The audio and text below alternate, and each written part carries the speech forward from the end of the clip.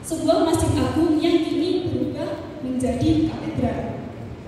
Berbeda dengan saat di Granada dan di Paris, yang menemani Zahra untuk mengunjungi beberapa tempat di Cordoba adalah Hana, teman satu kuliahnya dulu yang memang sebelumnya sudah berjanji untuk mengunjungi mesmita bersama-sama.